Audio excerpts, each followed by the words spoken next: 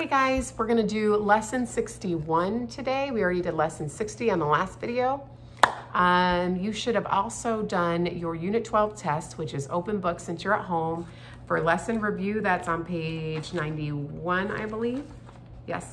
And for your student workbook, it's on page 165. So that's an open book test for Unit 12. I'll grade those when we get back from Thanksgiving break. Let's go ahead and get started on lesson 61. We're on page 405. Um, we're gonna be talking about the Middle Ages. Um, historians label the period of history of Europe from the fall of Rome until about 1300 as the Middle Ages because it came between ancient history and the Renaissance. In Unit 13, we learn about events during the early Middle Ages in locations from Central America to the islands of Japan. An uncle and a, a nephew born as peasants in Macedonia region of the Balkan Peninsula rose to become rulers of the Byzantine Empire. That's who we're going to learn about today. On islands off the coast of Asia, the Yamato clan began to unite the various clans of Japan. We won't learn about that today. An Arab born on the Arabian Peninsula began a new religion that spread by teaching and by force uh, into the Western India and Middle East and Northern Africa. I bet you guys can guess what religion that is. The Maya civilization flourished in Central America and built the grand city of, mm, I can't pronounce this correctly, Palenque, after Pope Gregory I sent missionaries to England, a monk and a monastery on Lindisfarne Island created a beautiful illuminated manuscript, and those manuscripts are the four Gospels, which we all cherish today. Okay, we're on page 405. Let's get started. The first question for lesson review on page 31, you should be getting ready to write that down. Uh, the answer that is, who was Justinian's wife and how did she help Justinian in his work? Well, let's read about Justinian and we'll find out who his wife was, okay? The Roman Empire began to take control of the Balkan Peninsula in 9 AD. We're in AD now. And eventually governed the entire region. The Romans planted vineyards, engaged in gold mining, and established cities along the coast. Many men born to peasant families in Balkans became officers in the Roman Empire. Since Roman armies frequently put their commanders um, forward as emperors from the 200s into the 500 ADs, several military commanders from Balkans became emperors at either Rome or Constantinople. And remember, Rome is one capital and Constantinople is the other. And Constantinople is the capital of the West and Rome is the capital of the eastern part of Rome. All right. Um, Domitian and Constantine are two such emperors who we have already mentioned. Around 450, Justin was born into a peasant family, which means a poorer family, in the Macedonian region of the Balkans. He herded pigs as a young man. Hmm. Justin moved to Constantinople when he was about 20. Justin became a member of the palace guard and rose to hold a high military position. Wow, he worked his way up. While he was a military officer, his nephew, Justinian, who was born in 483, also from Macedonia, moved to Constantinople and received his education there. As a young man, Justinian was a key advisor to his uncle, so he helped his uncle. Justin became emperor, his uncle became emperor. Uh, he was known as Justin I in 518. Justin I had no children, so he adopted Justinian as his son. And we know that a lot of uh, people in power would do that if they didn't have any sons to take the heir. They would adopt a nephew or somebody in their family so that they knew their family line would be in control. In 527, Justinian was named co-emperor. His nephew was named co-emperor, maybe because they knew that Justin wasn't going to be emperor for very much longer. Oh, just a few months before his uncle died. Following Justin's death on August 1st, 527, Justinian was proclaimed sole emperor of the Byzantine Empire.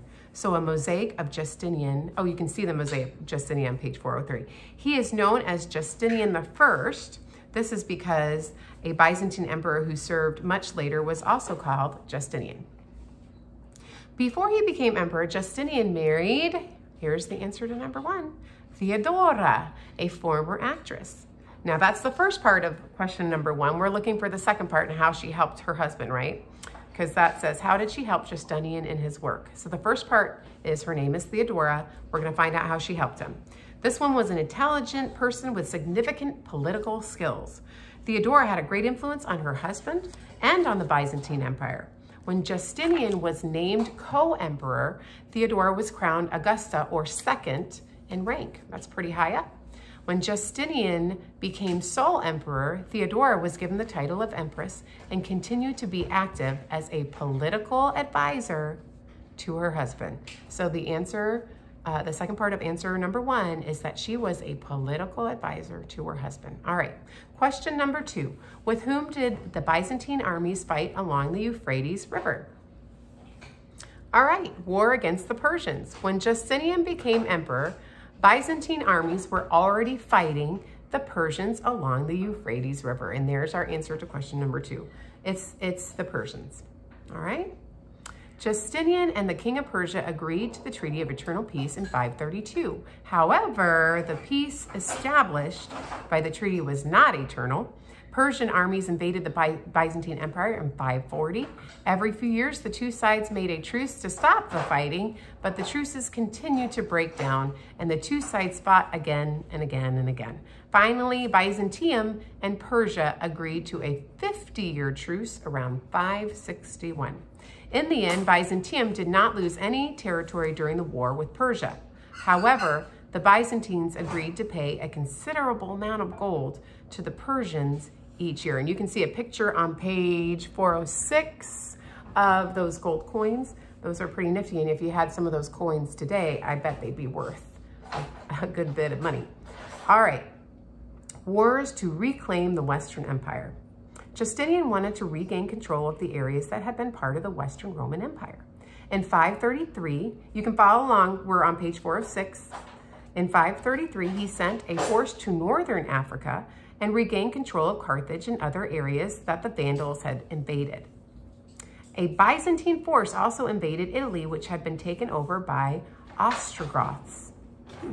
The Byzantines gained control of Rome in 541, but the Ostrogoths continued to fight until 562.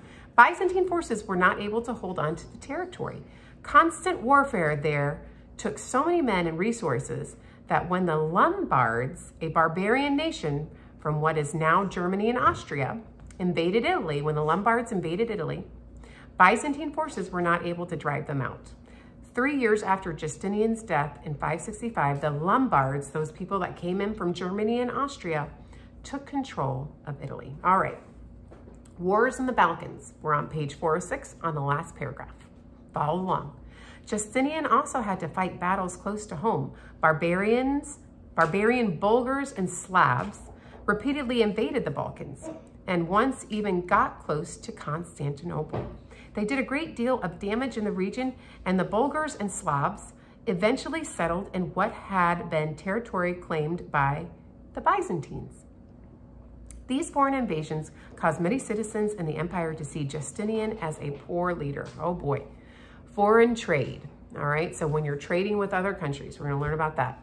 Justinian encouraged foreign trade, especially in spices, perfume, and silk. And we learned about the Silk Road and how silk was made. Remember the silk moth? Well, silkworm, but it's really a moth.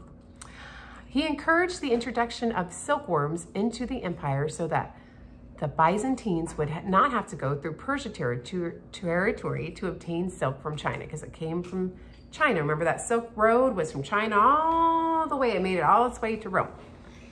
Um, Byzantine artists created beautiful metalworks as seen in the examples on right. You can look at the cross and all the different things.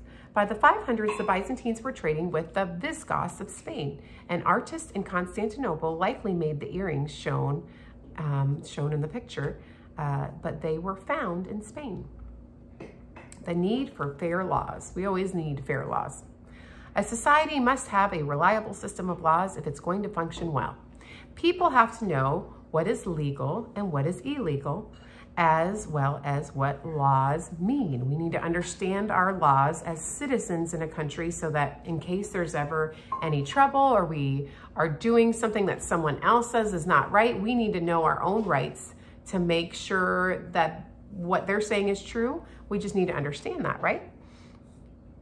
They also need to know that laws will be enforced in a way that is consistent and fair. Americans are familiar with the system of government in which an elected body of representatives, such as Congress, the state legislature, or the city council, passes laws. Then the police or other officers enforce the law against each person without regard to that person's wealth or status in society. An existing law might be changed by an act of legis legislator, but usually two laws that say opposite things will not be enforced at the same time, which makes sense. The Roman system of law had been established in the 400s BC. It had worked well at first. Over the centuries, however, the Roman legal system had developed problems. For instance, there was not a consistent way for laws to be made. Hmm. During the time of the Roman Empire, uh, from Augustus Caesar forward, emperors were all powerful. They issued decrees that had to be obeyed as laws. However, sometimes a decree of one emperor conflicted with a decree of an earlier emperor. Which one had to be obeyed? Hmm. Government authorities did not always enforce laws fairly on all people. Wealthier Wealthy people or members of certain families often did not have to pay their taxes, or they might not have to stand trial for breaking a law. So we see favoritism, don't we? Corruption was common. For instance, men often bribed, um, often paid bribes to the emperor so they would be appointed as governor of province. So instead of asking the people to vote who they wanted to be governor, the person that wanted to be governor would pay money to that emperor and that emperor would appoint them as governor. So that's unfair. A bribe is never good. Sometimes these men were in debt after paying a large sum of money for a bribe. They would often raise taxes on the people they governed so that they could collect the money they needed to pay off all their debts. That's a very corrupt way to live. All right. The Code of Justinian. All right, next question. What was the purpose of the Code of Justinian? I have a feeling that we're going to find that right here. Justinian wanted to make sure that the laws of the empire made sense and were applied equally, equally to all people. So there's our beginning of our first answer. The Code of Justinian was made so that the laws of the empire made sense, this is on page 408, and were applied equally to all people. He also wanted to get rid of corruption. That also goes in your answer. The reason it was made is because he wanted to get rid of the corruption that was happening that we just read about, okay? Soon after he became emperor, Justinian appointed a commission to organize the laws of the empire. He later appointed additional commissions to work on other parts of the legal system. Now we're going to hear about those different parts. The result of their work is called in Latin Corpus Juris Civilis, or the body of civil law. It is also known as the Code of Justinian. The Code of Justinian was an important building block for later legal systems in Europe. It took many years to complete this work, and it was made up of four parts. Here are the four parts. The Codex Constantinium. Oh, wow. Also called simply the Codex. I like that better. It was 10 books that sorted out all the laws made from Hadrian. Uh, this person ruled from 117 to 130 AD. Until that time, Justinian became emperor. The commissioners decided not to include every decree made by every emperor. Um, those not included were repealed or um, made void, which means they just got rid of them. The Digesta, which is also called the Digest, had 50 books. These were a collection of commentaries by experts in Roman law. Lawyers and judges often refer to such commentaries when applying the law to a particular situation. The commissioners decided lawyers or judges could not cite any comments in court unless they were included in the digest. The institution, the institutions, also called the institutes, was a textbook on the law for first-year law students to study. See a page, they have a page of it, uh, a later copy of the institutions at right. Cool. The Novel, Novella Constitutions post Codicillium. This is all in Latin, so if you take Latin, you probably can pronounce this much better than I, which means new laws after the codex, usually called the novels. Oh, that's where we get that word novels from the Latin word. Interesting, novella. Collected the decrees Justinian issued after the codex was published. All right, Justinian made the paying of bribes for governorships illegal, so you could no longer bribe your way in, and he worked to eliminate corrupt practices in government. The emperor gave more authority to local officials called defensors, civitatis, defenders of the cities. This enabled local citizens to have cases heard in court more easily. It kind of sounds like our, uh, our system. Okay, the Nika Revolt of 532, and this goes with our next question. What was the Nika Revolt of 532? And I bet we're gonna find out here because that's what the title is.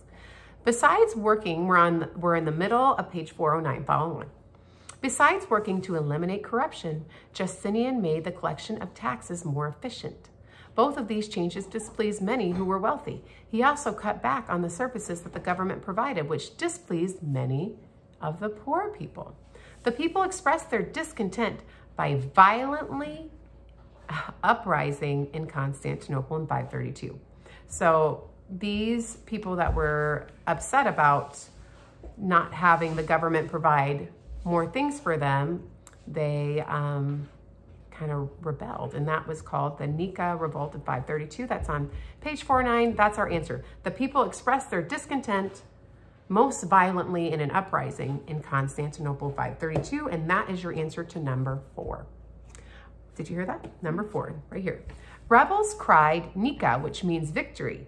Rioters burned government buildings, part of the emperor's palace, and the Church of the Holy Wisdom that stood beside the palace. Okay, so it's interesting again, we can see how like everything that's happening in our government in the United States, there's been a lot of rebellion in our own country of burning of government buildings, defacing of uh, government statues. And as a child, you might think that is, it is disheartening and it is a little scary, but it hasn't, it's not anything that hasn't been seen before. The same thing happened here in 532. They burnt those buildings down. And so history just repeats itself, doesn't it? It's very interesting. All right, the mob gathered in Hippodrome, a stadium used for chariot races and public festivals. They demanded that certain government officials resign. The next day, the crowd proclaimed that they wanted the nephew of former emperor to be emperor. Justinian thought about giving up the throne, but Theodora, his wife, convinced him to stay in office. General Belisarius, who had served Justinian in wars on many fronts, organized his troops and put to death many of the mob in Hippodrome. The others dispersed. Well, that got rid of them real quick because he just put them to death. Whew. All right. The new Aya Mosque, and I looked up that word because I thought this is interesting because the Aya Mosque is actually, it's not, it's a mosque today, excuse me. The new Aya Sophia it's a mosque today, but we're going to hear about what it actually was. Uh-huh, that's right. Um, and number five is, why do you think it's important for society to have a reliable system of laws? So why do you think it's important that we can trust the laws that have been made by officials and governors and people in higher places than us, the citizens? Why is that important to you? I'm looking forward to seeing some answers for number five. All right, the new Aya Sophia, which is on page 409. Justinian oversaw an active building program. He built aqueducts, bridges, forts, orphanages, and churches. Many earthquakes occurred during the, the reign of Justinian. The government helped rebuild several cities damaged by these quakes. The grandest and most significant project was the rebuilding of the Church of the Holy Wisdom which Justinian ordered immediately after Nika revolt. The church is usually called Hagia Sophia, which is Greek for holy wisdom. Emperor Constantine began the original building. His son, Constantius II, dedicated it in 360. Other riots had damaged the church in 404, and it had been dedicated a second time in 415. Justinian appointed Anthemius of Tralles and Isidorus of Miletus, Miletus as architects for the new structure. Anthemus, Anthemus was a mathematician and a physician. Isidorus was a professor of geometry and mechanics. Thousands of people worked on the construction of the church. Remarkably, Justinian dedicated Hagia Sophia a mere six years after construction began. That's pretty amazing. I mean, six years. They built that really quick. A huge uh, 101 foot diameter central dome rises 160 feet high in Hagia Sophia. People writing about the building at the time said the dome symbolized heaven. The dome is supported, and you can look at the dome in the pictures while I'm reading, okay, because it's actually still there, by four arches, which are themselves supported by smaller domes, and the pillar in a unusual and beautiful architectural system. The many windows around the base of the dome make it appear from within as though the dome floats in midair. The outside of the building is relatively plain, brick covered with plaster, but the inside is decorated with beautiful mosaics, marble columns, and gold leaf. And that's really pretty. Close ties between the church and Byzantine government. A little bit about Hagia Sophia. It was this beautiful, beautiful dome, this uh, architectural wonder but it, it's interesting. It's gone back and forth it, between it being like kind of this museum, a church, and now it is a mosque, an Islam mosque. All right, close ties between the church and the Byzantine government. Justinian and Byzantine emperors who followed him continued to be deeply involved in both the church and the government. The idea of separation of church and state, which means you don't mix your church religion with what's going on in your state laws and making, okay? Um, the idea for separation in state was unknown to them. State officials often put their stamp on new objects and made silver to declare that the metal was pure. The silver chalice at far right was created to hold the fruit of the vine, uh, representing Christ's blood during communion. On the bottom are the stamps of Justinian, and we're looking at the, the, uh, the silver chalice on page 411. That's that silver cup. Are the stamps of Justinian and of three government officials. The map shows the territory of the Byzantine Empire at the time of Justinian's death. Controversies over Christian doctrines continued during Justinian's reign. He supported Orthodox Christian teaching and opposed heresy. To protect his subjects from false teaching, he forbade pagan, heretics, and Samaritans from teaching any subject. Interesting that he uh, he forbade Samaritans. Justinian expelled pagan teachers from the academy in Athens. Paul had told the Christians in nearby Thessalonica and Macedonia this. So then, brothers, stand firm and hold to the traditions which you were taught, whether by word of mouth or by letter from us. Second Thessalonians 2.15. All right, guys, um, you have all of your lesson review done for that lesson 61 in our student workbook. Well, let's just do some of these together, okay? Uh, the first question says, Justinian the First was from where? Where was he from, Joel? Justinian the First was, was from Macedonia. That's right, he was from Macedonia. Mm -hmm. Number two, Justinian the First became emperor after the death of his uncle. His death of his uncle. That's right. The blank of Justinian was one of his political advisors. The what? Um, wife. The wife, and her name was what? Theodora. Theodora. Yes. Theodora. Justinian I and the king of blank signed the Treaty of Eternal Peace in 532. Now remember, these two, these two areas kept signing treaties, um, but they fought at the Euphrates River. Do you remember? Do you remember who it was? It was Persia. Persia. Persia. Justinian I encouraged, this number five, foreign trade in spices, perfume, and comes from the earth, or this silk. Silkworm, yeah. Justinian I worked to eliminate blank in government. Um, All these bad things. Corruption. corruption, that's right.